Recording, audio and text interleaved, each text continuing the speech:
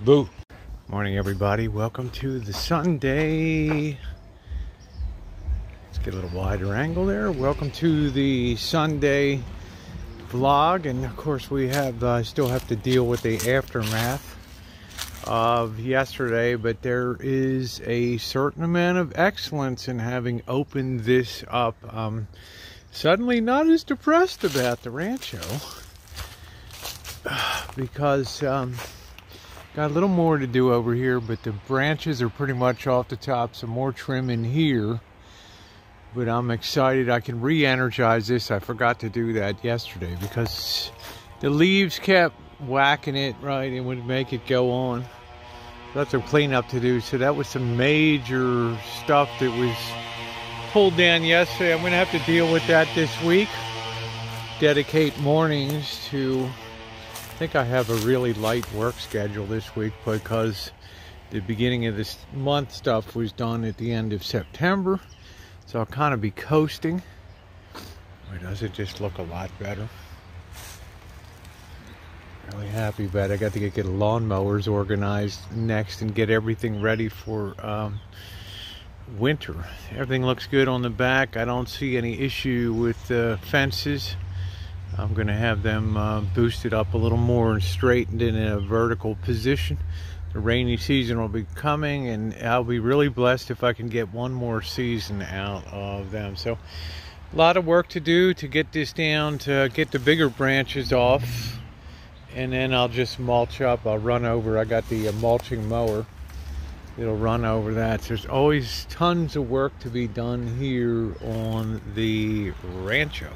The installation of the security lights worked well too, but I did not like the light that came off. Had a 1300 lumen GE uh, LED job, and I've changed that back. I've put the old, I think I put the old one up there because uh, I think I think we're gonna roll with the incandescents because they give better light. But I need the uh, LEDs like out front and all that. So that was um, it's pretty good. It's not the bad. I like incandescent lighting for Kitchen Stadium. Something about LEDs and the frequencies kind of gives me a headache. I don't know.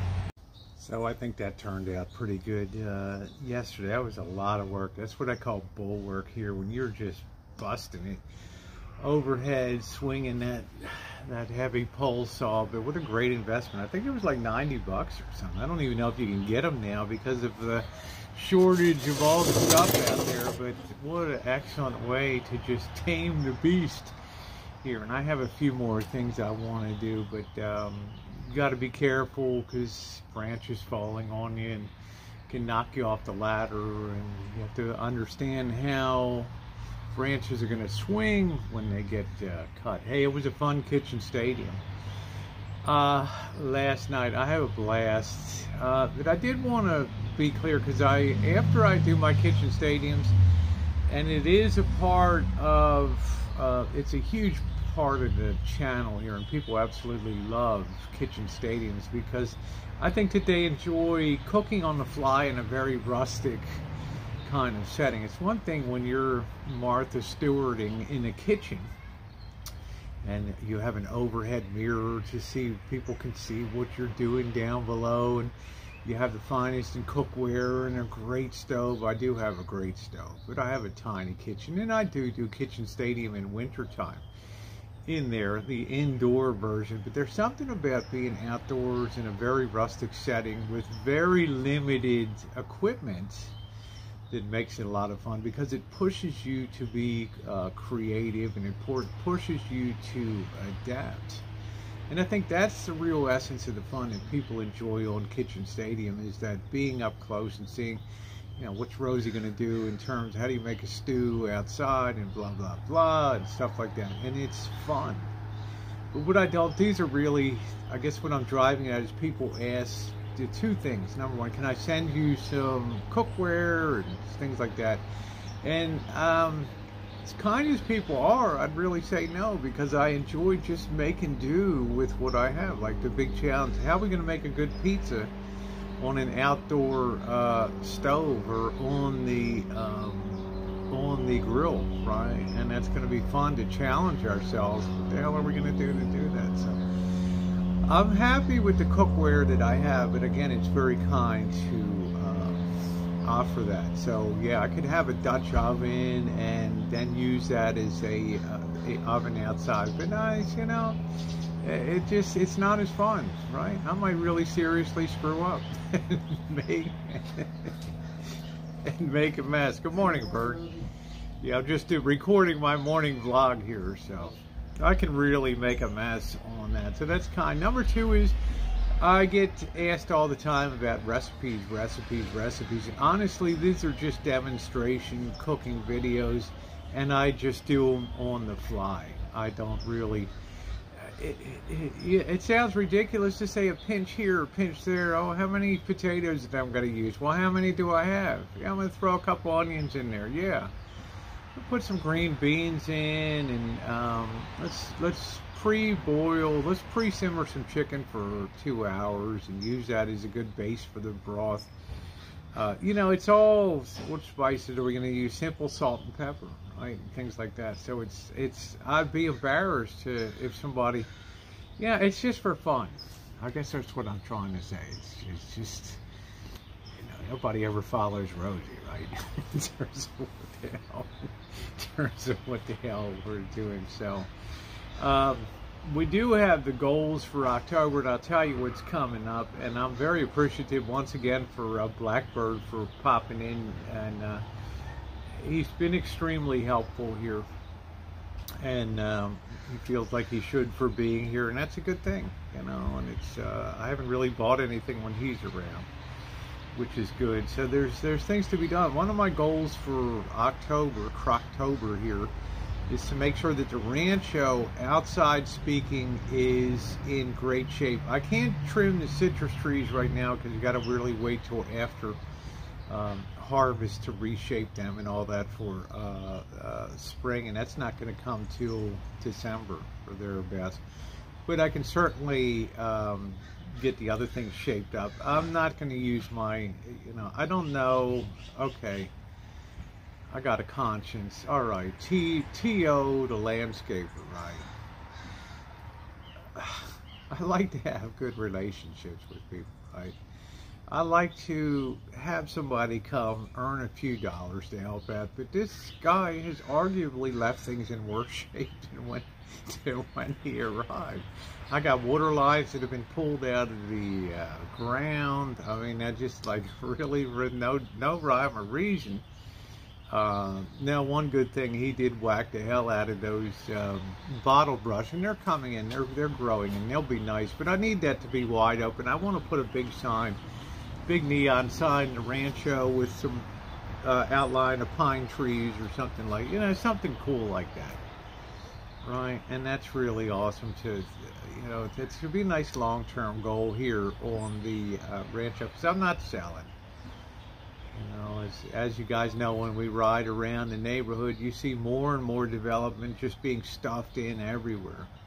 And it's something does my heart good when I walk to the uh, when I walk to the big back lot there and just look out there and see you know, an apple tree and a fig tree, and it just just makes me feel good because I have a little touch of green in this urban hellhole. And you guys hear it. People, oh, like Rosie, you got the, you got the, uh, you know, you got a great hood. The houses are, you know, X dollars, and it's, you know, you should be loving it. Hey, man, let's be real. It's California, okay? You hear the, uh, not that I mind the ice cream guys, right? But I'm just saying the ambulances every day, the uh, helicopters, the people doing 90 miles an hour down the street, the cursing, the screaming. Yeah, once in a while we get mariachi music from a neighbor and it's nice, but it's like, man, this is this is a retreat. You know what I'm saying? This is this is my retreat, and I bought it for peanuts, right? And I poured my heart and soul into it. And I think to myself, where would I go to? right? If I was to sell the rancho, where would I move to? Would I move to Chicago? Would I move to Kansas City? And I just think there's some basic things that I like being out here. And one of them, I think the really overriding feature for me is the weather. you know that I have not had to put air conditioning on one time this summer. Maybe two nights were very close. But global warming is, in a way, it's not hit here. I mean, it's certainly hit with the low water levels we have. But I'm saying it's nice here in summertime, and also I don't shovel snow in winter. Rarely do we dip below freezing, and even then, by 9, 10 o'clock in the morning, it's up to 50 degrees or whatever. So I like it. Yeah, I know. I piss and moan about the rainy season when it comes. Rosie, you're a crybaby. Three, four days of rain and you're curled up in a ball. Because you hate it, girlfriend. Let's be real. You're you're a sunny. You're all about sunny weather, which I am. I love my sunny weather.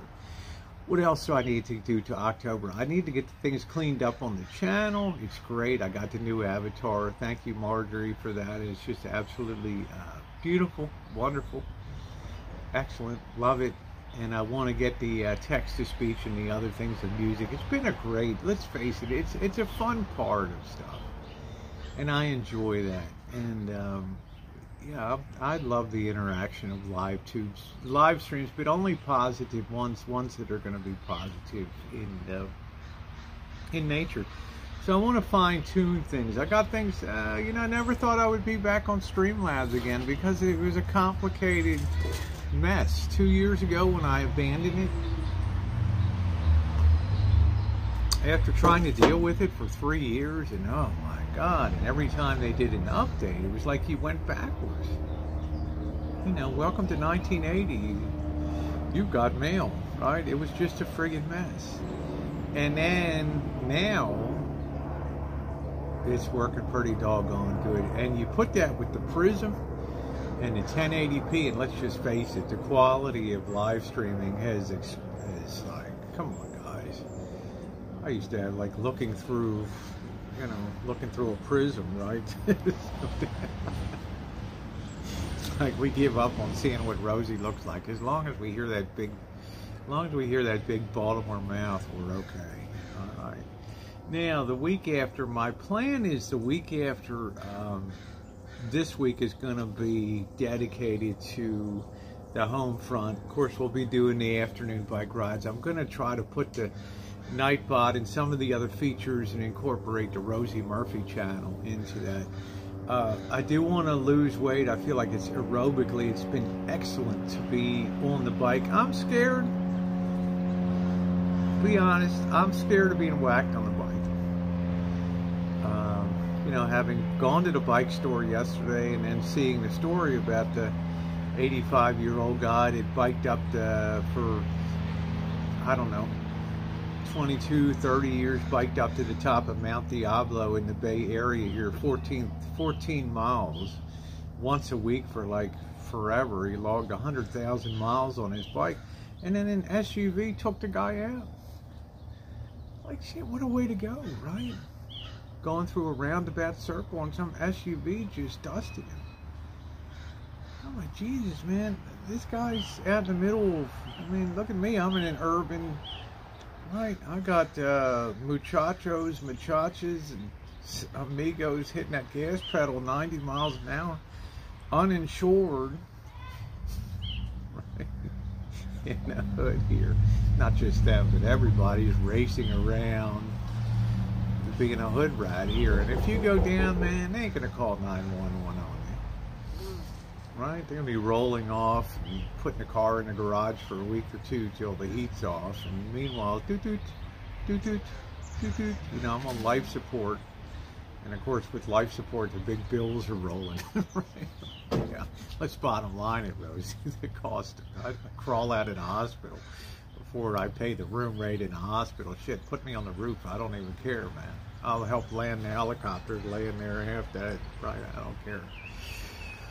But after this week, I'm going to try to uh, go to Vegas. I'm going to try to incorporate that with Palm Springs. I know I've been talking about that, but I'm talking about heading out on a on a Tuesday or something like that. Tuesday, Wednesday night, dicking around, and uh, Tuesday, Wednesday, Thursday, uh, maybe Friday takeoff, Friday, Saturday, Sunday, Monday in um, leave on Monday in Vegas and really celebrate. It'll be the official, I think, like return of all the features on the channel, the monetization and stuff like that.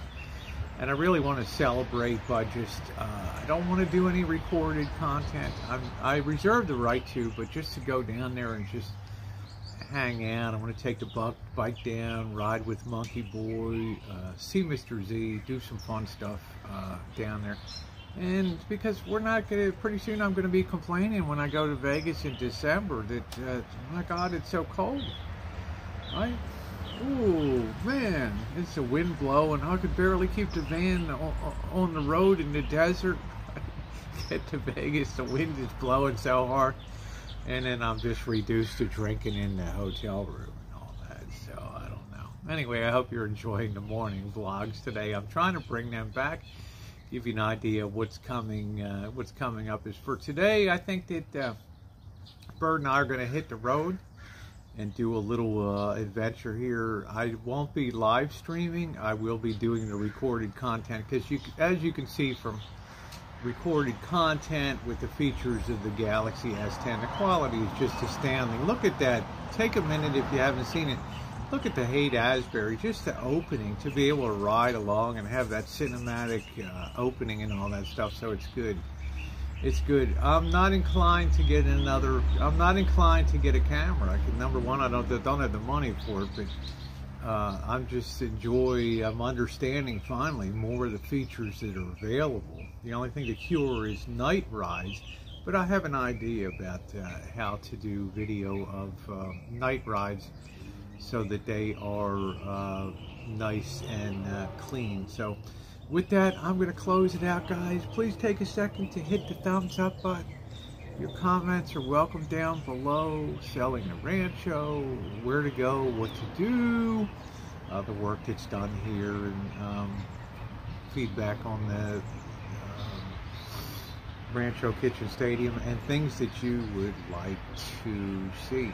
Let me know. That's your space down there, right? Mine's here. Thanks, everybody.